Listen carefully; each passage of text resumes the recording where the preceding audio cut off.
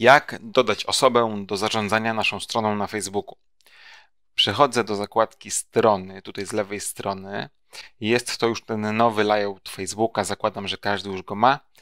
Tutaj z lewej strony wybieram stronę, albo na górze tą drugą ikonkę, która też przenosi nas, nas do stron, którymi zarządzamy. Klikam strony.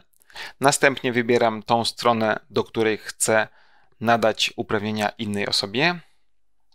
Wybieram tą. Teraz tutaj z lewej strony wybieram ustawienia.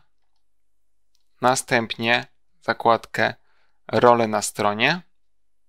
I tutaj mamy już takie pole na wpisanie imienia i nazwiska lub adresu e-mail tej osoby, której chcemy udzielić dostępu.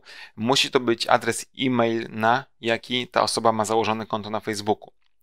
I teraz, wpisując tutaj imię i nazwisko tej osoby, może być tak, że Facebook tutaj nam nie podpowie żadnej osoby, e, o którą nam chodzi. Wygląda to tak, wpisujemy sobie imię, nazwisko i widzimy, że nie mamy tutaj tej osoby, którą chcemy dodać, że to nie jest żadna z tych osób.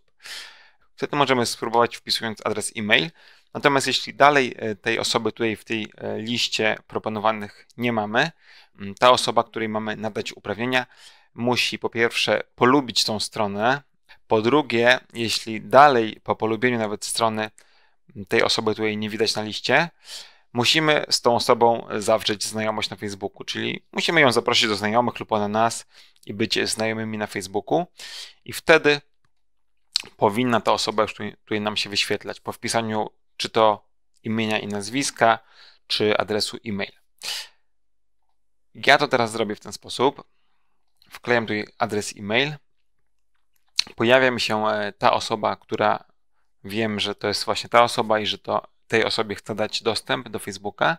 Klikam tutaj w tą propozycję i następnie wybieram poziom dostępu, jaki chcę dać tej osobie. Najczęściej jest to redaktor, e, administrator. Jeśli damy komuś poziom administratora, to wtedy ta osoba będzie mogła e, zarządzać wszystkim, tym również będzie mogła usunąć nas z tej strony. Także z tą opcją administrator należy bardzo uważać. Najczęściej jest to redaktor. Klikam dodaj.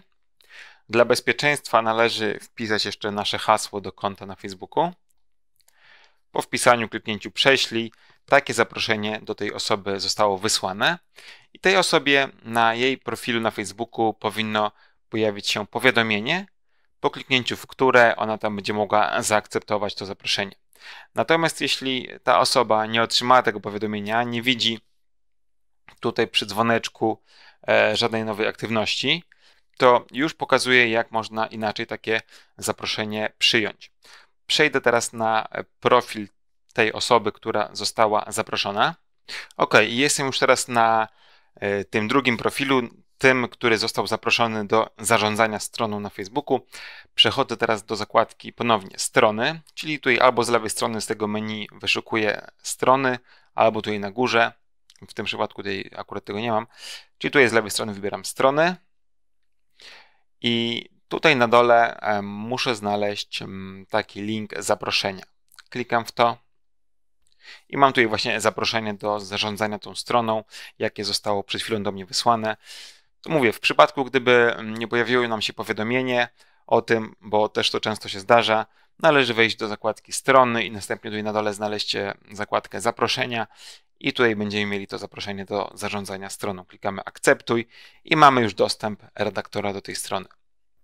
Natomiast jeśli chcemy takiej osobie zmienić e, przypisaną rolę lub ją całkowicie usunąć z dostępu do tej naszej strony, to znowu przeloguję się to poprzednie konto, Przechodzę do strony, wybieram tą stronę, którą chcę wyedytować, ustawienia, rolę na stronie.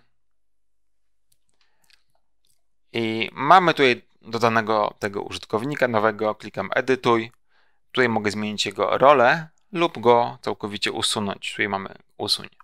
Klikam usuń, potwierdź, ponownie hasło, prześlij